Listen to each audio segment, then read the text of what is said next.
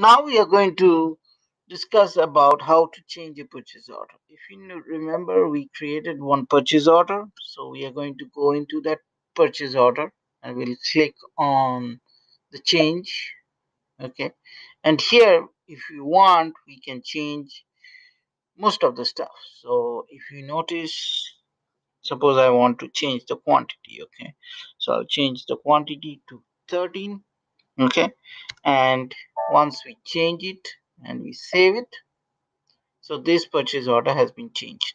Now, the most important thing, every time you have changes, you know, without change, you cannot do anything. Okay. So suppose you have changed the purchase order. Now, there might be a question where you want to know who has changed the purchase order. So in this cases, you click on edit, advi- environment document header and you click on header changes. So I changed something in the item. So in order to know whether an item has been changed or not, if I need to select an item because you need to know which item you want to see the changes. So if you click on, I can go and see. If you notice, I changed from old value to new value when it was changed and it tells you which transaction code I went through. So it catches everything. SAP, the biggest thing, it's a SOC system. No one can fool the change history. Okay, let's be honest. Lots of people has tried it, but it's it's virtually impossible to do. Now another thing that you can do in purchase orders, these are things, these are tips and tricks that you can do, is you can put personal settings where you can mention what are the default values. So sometimes it may happen that you you are in the working in a plant and you want to put specific stuffs that you can so for a purchase organization you will always choose gbi us because you are in us and if i go to purchasing group you select north america suppose okay? And then if i want company code i'll select always this company code okay?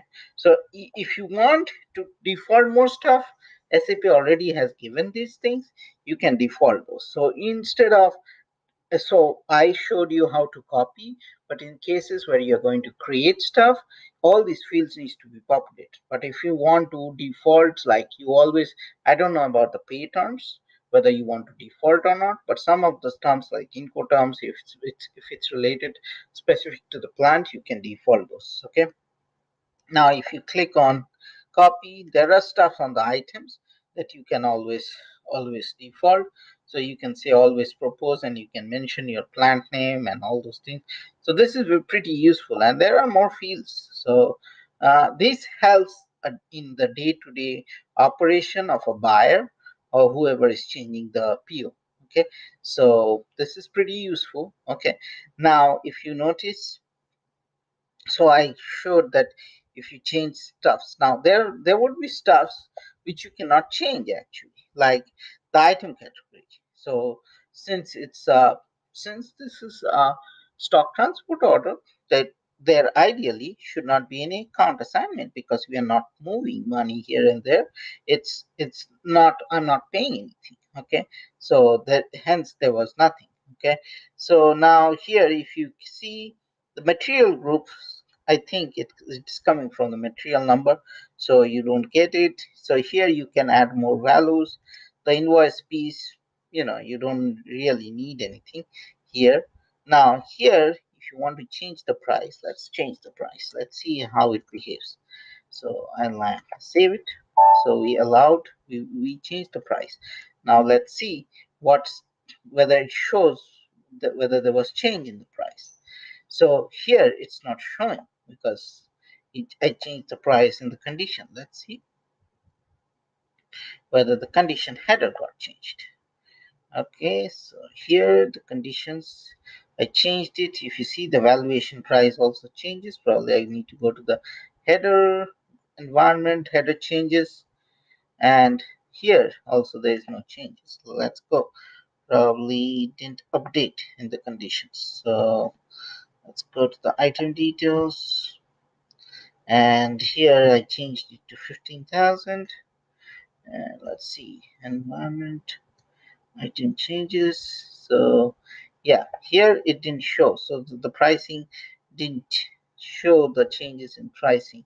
Now here there are lots of things that is very important especially on the pricing piece. Pricing is one of the most important things.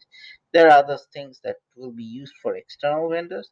So you can do acknowledgement orders acknowledgement now another thing is the delivery tab. This is useful. You remember where we uh, in the in the purchase order flow we told that we need 10 laptops but we need five laptops at a certain date or something. You can do all those things here on the scheduling piece okay?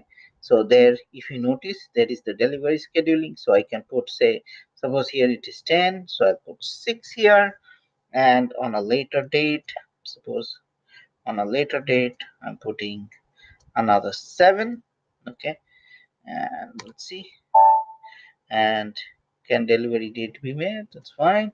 So if i if i changed it now see uh, if i go to the document again and i'm going to the item item overview go to the header and if i scroll down and if i close this go to the item overview go to the item details now you see the delivery scheduling has changed so think assume this is a this is a purchase order where I need six laptop at this date and seven laptop on this date. Based on that, the vendor will give me the shipment. Okay, so this covers everything related with change purchase order. And again, you can some of the fields you cannot even change because those are primary key. Okay, and uh, SAP has done this like uh, stuffs like the company code. These are not primary key but there are stuffs like the vendor number and all those things you cannot change i'm sorry okay so that's everything about changing the purchase order